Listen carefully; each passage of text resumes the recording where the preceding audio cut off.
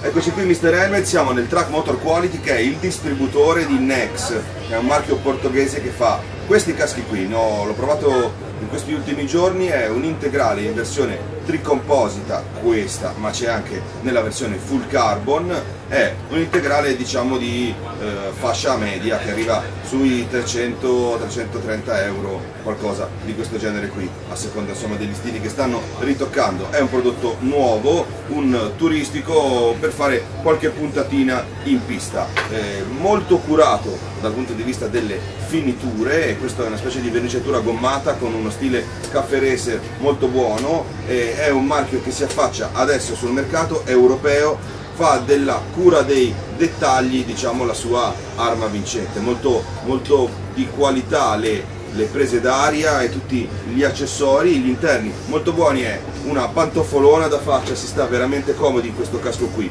Qualche punto d'ombra legato all'assemblaggio degli interni, se si fruga un po', si arriva a toccare il polistirolo, però quando si indossa non si sente. Eh, altre cose non fra le mie preferite, questo cinturino un po' secco, un po' asciutto, però devo dire chiude molto bene, ha un vantaggio, è molto lungo, quindi non devi strangolarti per trovare la posizione ideale. Ha anche il sottovento, ha il pin lock di serie e le meccaniche sono forse di qualche anno fa, nel senso che non sono le più moderne, però sappiamo già che la casa le sta cambiando, queste assomigliano a qualche premio di qualche anno fa. La visiera è un po' fluida, non ha gli scatti precisi e duri, però chiude bene, non ci sono grossi, grossi problemi. Qui eh, le due, eh, diciamo così, diciamo, le due eh, entrate per la reazione, anche quella del mento, le estrattori con effetto Venturi, quindi a depressione, hanno queste griglie qui, eh, molto ben fatte perché se spingi forte la, la griglia non rientra. Quindi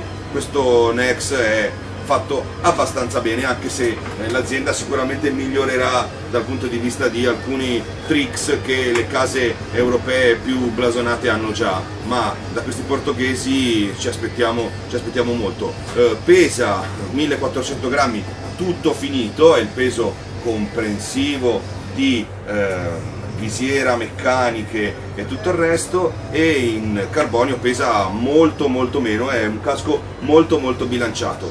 Eh, le meccaniche sono semplici, anche se però diciamo che quando si toglie la, la, diciamo così, la visiera bisogna stare attenti alle vitine eh, e far entrare bene la visiera qui è forse uno degli aspetti da migliorare, ma però eh, non è, non è diciamo, un aspetto critico. A chi è rivolto? A chi fa del commuting, un po' di urbano, qualche puntatina in autostrada e anche un po' in pista, lo stile è diciamo, quello caffè racer, ci sono delle grafiche interessanti e questo è un marchio nuovo che bisogna tenere d'occhio. Rapporto di qualità-prezzo ok e quindi seguite Motor Quality per vedere se questo Nex sia in versione tricomposito che full carbon vi piace e vi interessa. Ciao da Mr. Helmet.